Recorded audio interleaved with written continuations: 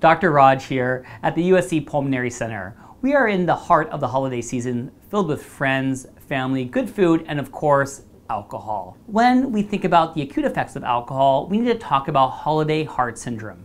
This is going to be a syndrome where acute binge drinking can cause you to have what we call arrhythmias in the heart.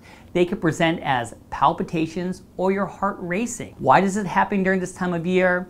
On top of the alcohol, it's going to be a stressful time, sleep deprivation, a lot of salt, and being dehydrated.